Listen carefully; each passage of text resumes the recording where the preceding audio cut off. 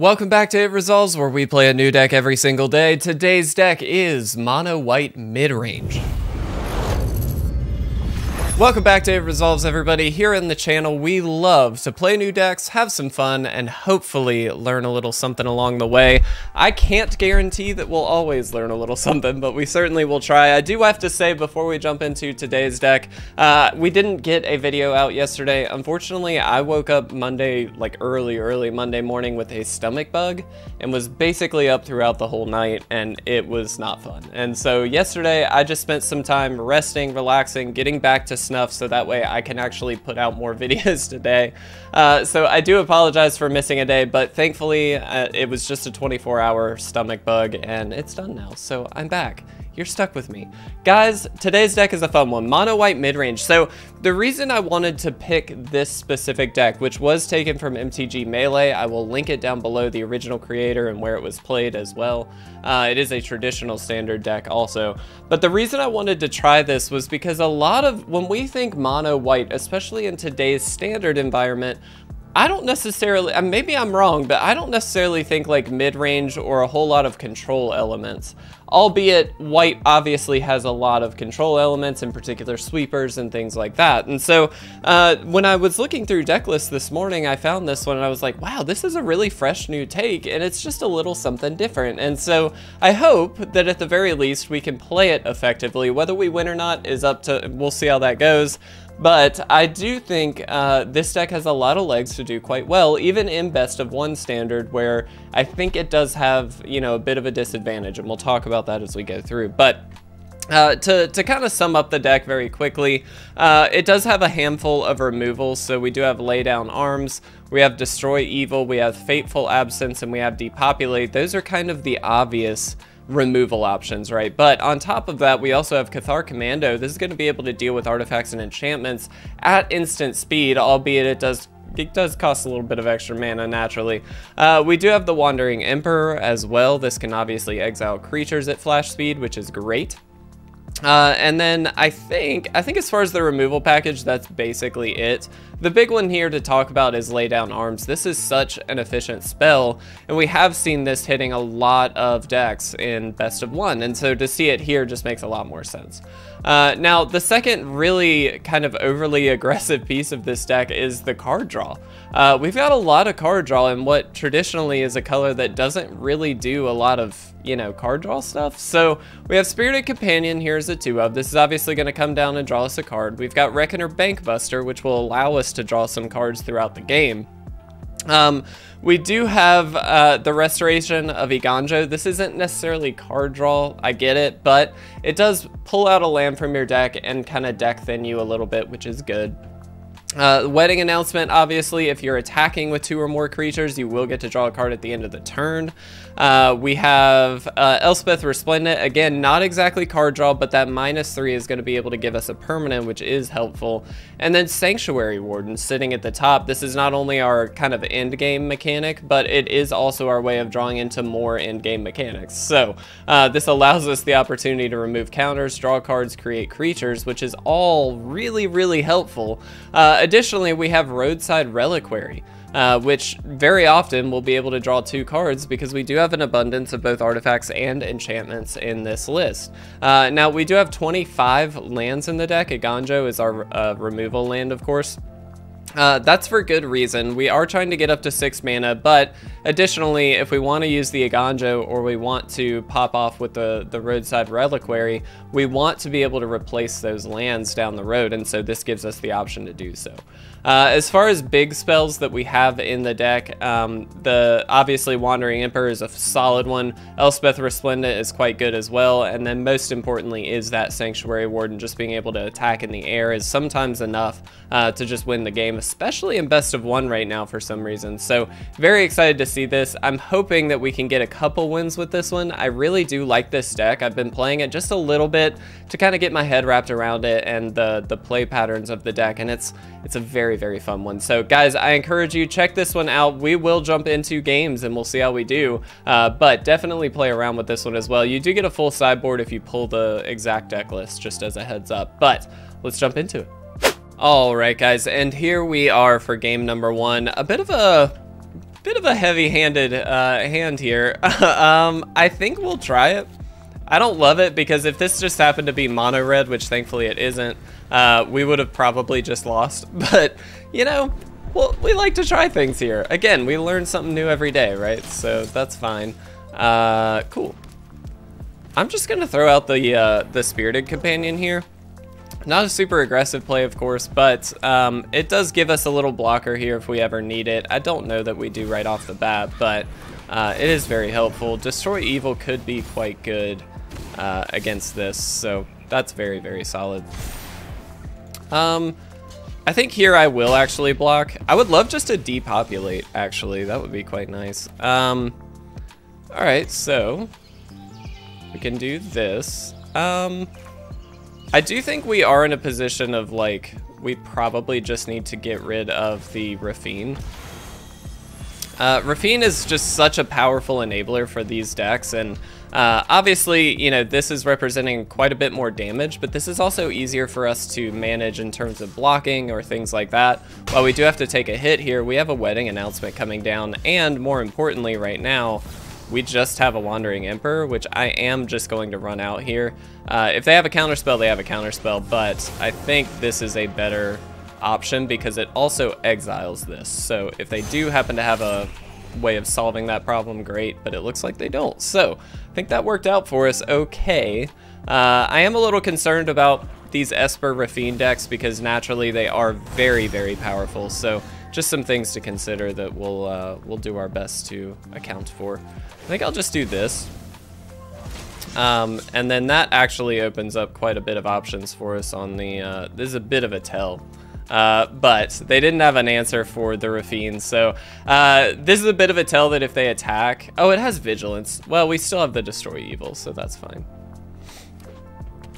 Uh, we should have then played a, uh, a wedding announcement. That was a bit of a mistake, but that's fine.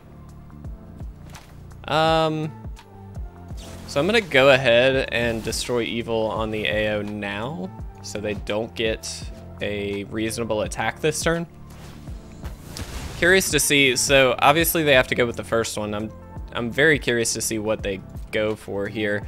I'm kind of hoping they only hit like another Raffine. uh, that would be a little silly, but that'd be great. Okay, a Kaito, that's very, very good, uh, naturally, but again, they don't get an attack this turn, which is helpful. Um, definitely wish we had played the wedding announcement last turn. I completely forgot AO had Vigilance. That was just my fault. All right. Uh, yeah. That's fine. All right, land is quite good. Um, it might just be Sanctuary Warden, honestly. Uh, it's just a really good card. um, yeah, I think I just go for Sanctuary Warden. It's just going to be difficult for them to deal with. I will remove one. Uh, the only reason I'm okay doing this is they've only got two cards in hand at this point. Um, so I'm a little curious to see what they actually have. They had a go for the throat. That's it so far as far as removal goes. So like we might be able to get them here. Um, we also have the Wandering Emperor to deal with the unblockable token, which is helpful. And this also threatens Kaito Shizuki quite well. So they are going to attack here. I'm assuming they just want to get rid of the shield token. Um, I'm more apt to just double blocking on the Dennick, to be honest. I don't really... Yeah, I think I'm just going to do this. What did they discard? Destroy Evil and Wedding Announcement. Okay. So they only get to kill one of these still. So like, there's kind of an easy double block. I'd rather not waste the shield token or, or the shield counter on the Sanctuary Warden, so I think this is just a safer option. That's fine. I mean, yeah, they kill a couple things, but I really don't care that much, to be honest. Um, it's not the end of the world, so that is terrifying. Okay, well, that changes things. Um, depopulate would be like amazing right now. uh, yeah, we just have to draw. Ugh, okay. uh, definitely play land. I think we definitely throw this out. Uh, we exile you. I'm gonna play the wedding announcement just to just to get blockers. The question is, do we attack? I don't think we can, personally. Uh, this is such a that Sheoldred is so scary. Oh, okay. So we have to figure out a solution to this. I think our best answer is going to be depopulate. The problem is, obviously, our draws, while not locked down, are taxing. Uh, and that's a little bit of a problem. And with Raffine here, they are very much incentivized to attack so they can get extra uh, draws or, or, extra life gain here, uh, which is very, very solid. Okay. Uh, yeah. I think I do... Do I care? I don't think I care that much. They gain 2 life, which is less than ideal. Uh, yeah. Okay. We'll see. uh, this is a tricky game. This is a very tricky game. That's very helpful um, because we can get rid of this.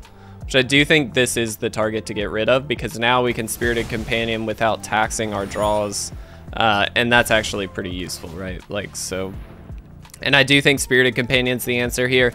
We just need to get to a depopulate, I think is our best answer because it does give us a little bit more breathing room.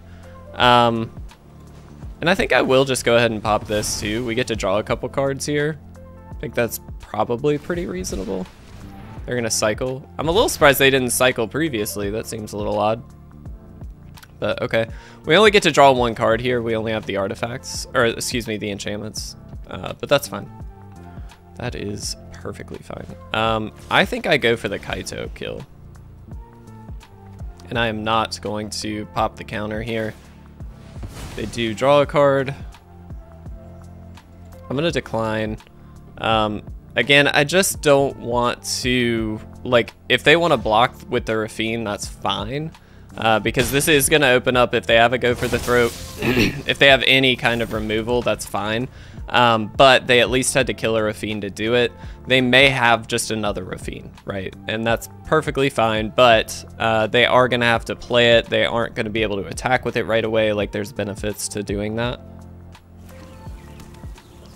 And clearly they very highly value the Kaito, um, given this scenario, which is kind of interesting. Okay. I think I'm just going to triple block here. this is a lot. Uh, but again, we're playing to the out of depopulate for the most part here. So, like, we could have just waited and Wandering Emperor, but we still get to keep one of our guys around. I think that's fine. Um, we didn't want to take five total there because them getting below 10 here seems a little sketchy.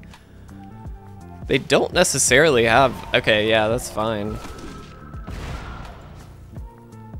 That's cool. Uh, did not think about that. Maybe that was a mistake. That's fine. Alright. That's very good. Let's go ahead and get that out of there.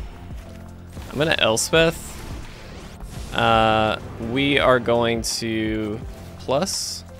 We're giving this little little guy lifelink, so we can get out of range a little bit here. Uh, excuse me, not there. There. Uh, and then this actually will draw us a card as well. I will take a counter off of here to draw and do a little bit more. All right, lands, great. Draw an extra card, great. Okay. Not saying we're in the clear, but we are in a much better position than we were previously. We don't have to, we don't have a Kaito to worry about at the moment. They don't have a Sheoldred down, and they don't have a Raffine down. So at least this is a rebuild turn for them, uh, which is fine. Like they they can go for it. Um, I just if, ideally I don't want them to deal with the Sanctuary Warden. oh no! So they get to oh that's bad. Okay. Yeah, that's really, really bad. Um, well, I say that. Having lifelink on our Sanctuary Warden really makes a difference. Um, because if they pull back Sheoldred, that feels a bit slow. Uh, if they pull back their own Sanctuary Warden. Our Sanctuary Warden is stronger. Um, so they get AO back. Okay. That seems okay. Uh, yeah. Cool. That seems fine. Um, so the question becomes, what do we want to do here, right? Do we just want to give it first strike? Hmm. Or do we just want to go this route, which is also reasonable? I think I want to go here and give it vigilance, actually.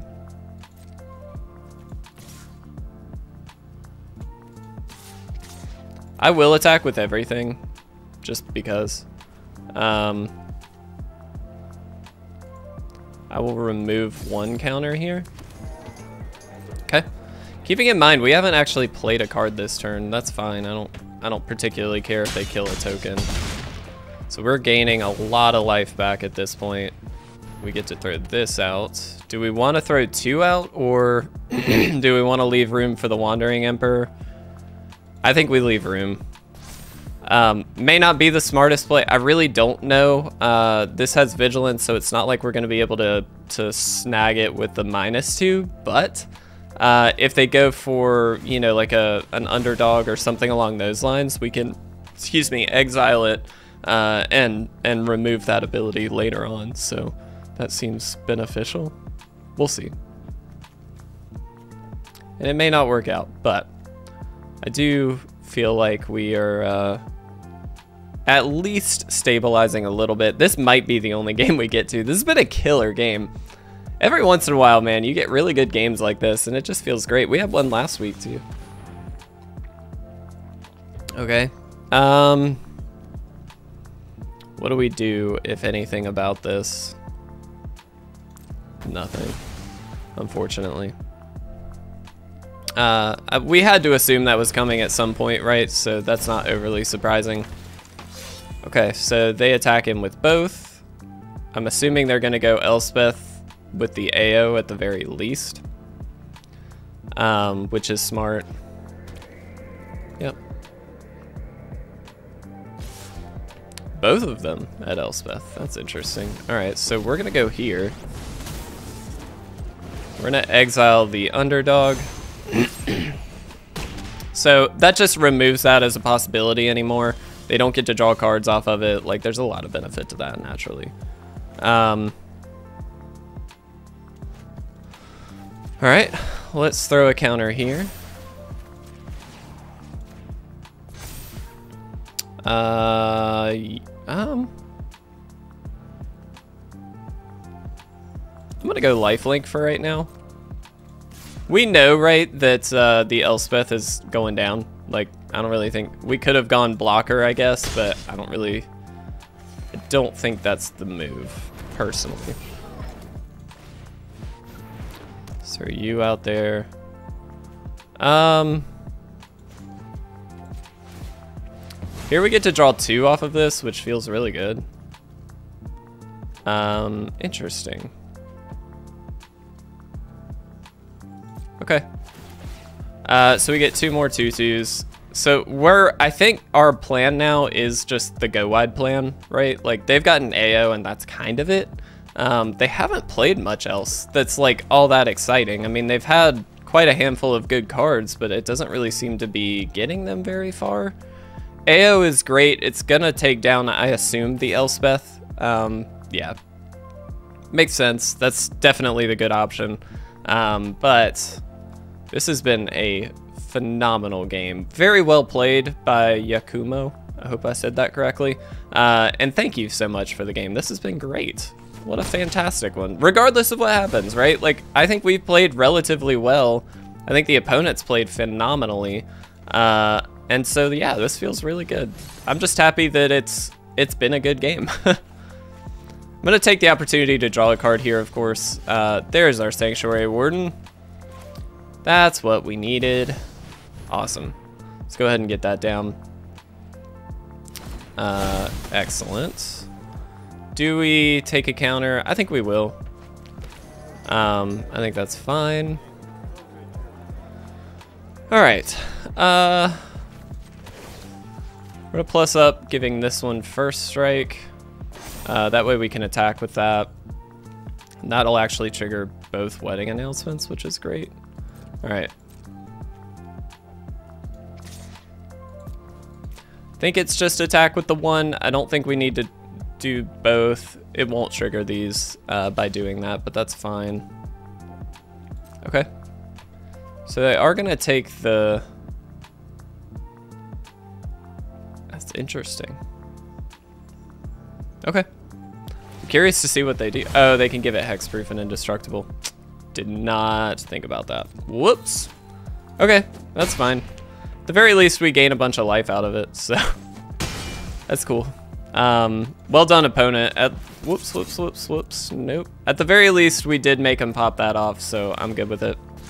All right, let's get a couple more. Now we just have stronger threats.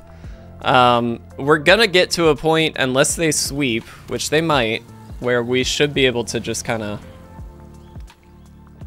uh, power out quite a bit here. I'm very happy they played this. This is where Cathar Commando comes in. Uh, let's do it now, I think. Um, just gonna go ahead and kill this so they don't... I don't want them going wide like we're going wide. And there we go. Whoo! oh, man. Guys, what a game. That was amazing. Uh, and we ranked up. Guys, that was insane. Uh, okay, well, unfortunately, we are kind of running up on time here, guys, so I am going to have to cut this one short, but what an amazing game. Let's go ahead and wrap this one up.